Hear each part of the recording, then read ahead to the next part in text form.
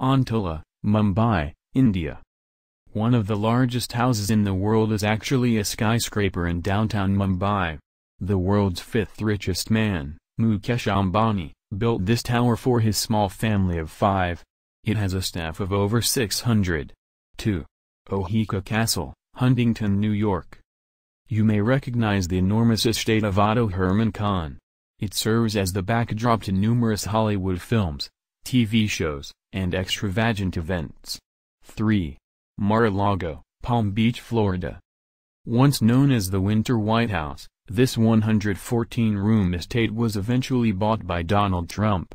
After he became president, it once again became the, unofficial, Winter White House. 4. Fairfield Pond, Sagaponack, New York. It should come as no surprise that the biggest house in the Hamptons would be on our list.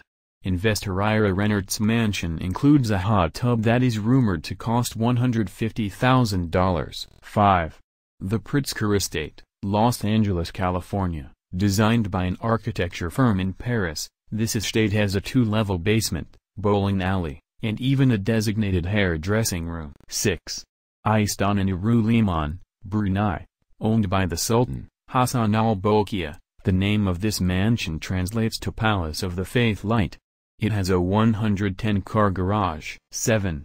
Nottoway Plantation, White Castle, Louisiana, built by John Hampden Randolph in 1859. The Nottoway Plantation is the largest still-standing plantation in the South. 8. Carolands Chateau, Hillsborough, California, listed on the National Register of Historic Places. This 98-room mansion is an example of American Renaissance and Beaux Arts design. 9. Versailles, Orange County, Florida.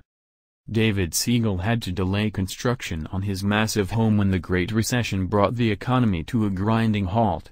Since then, however, construction on yet another Florida mansion has resumed. Did we mention that this monstrosity has a 30-car underground garage? 10. Windsor Castle. Built in the 11th century following the Norman invasion of England, this royal residence has long captivated the world's imagination. It is the largest inhabited castle in the world as well as the longest occupied castle in Europe. Thanks for watching please like and subscribe my channel.